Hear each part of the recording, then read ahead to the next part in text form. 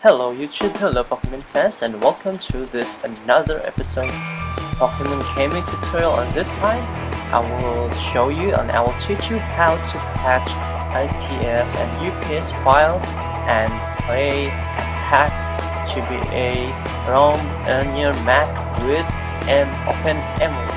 By And way guys, you cannot play hack ROM on your Mac unless you use a file patcher so you can play the game.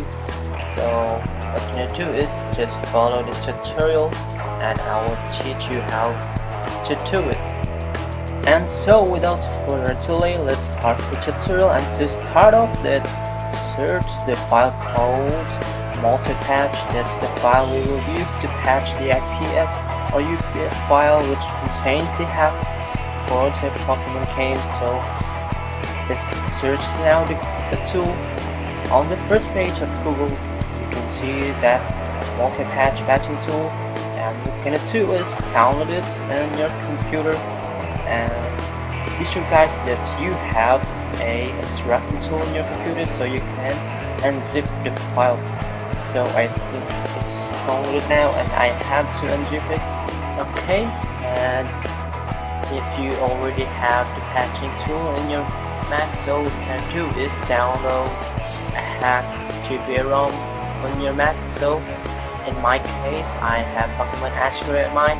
So what gonna do is download this IPS file of Pokemon Gray so let's save the file on my computer so we can patch it with the patching tool we just downloaded a while ago so I think it's already downloaded now. So what I'm gonna do is copy the file and I will create a folder called Ashgray on my desktop and I will put this IPS file and as well as the multi-patch file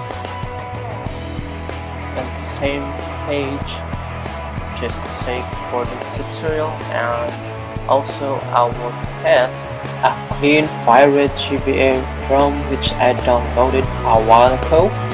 So, and by the way guys, uh, Pokemon is a FireRed hack so what we need is a clean FireRed ROM which what I mean clean is it hasn't used any cheats before you haven't used it before. Now we will patch the file. Choose Ash Gray which we created a while and choose the IPS file and then the .gba file FireRed and now let's give a name to our new patch file. Save it and click on apply patch. Okay finish this means the file is already patched. So let's test it and I will open my emulator open OpenEMU and I will add the patch file which I created a while ago using the multi-patch tool. So I think it's working properly now. The Gray version is showing to us. And let's move Okay,